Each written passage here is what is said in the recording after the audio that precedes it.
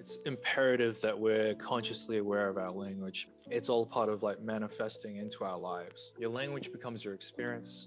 Your experience is determined by your language.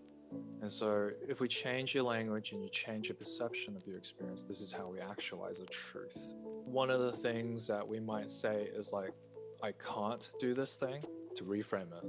You could say that I can't is the way that we cripple ourselves, and then saying I won't is the empowerment. It might sound a little bit contradictory or it might sound a bit negative, but acknowledging that you won't do it suggests that there is a reason why you won't do it. This is probably my favorite one, but like whenever there's a problem, like it's a problem or I have a problem, what's the powerful reframe that we could do for that? Ash? It's an opportunity. Hell yeah, man. But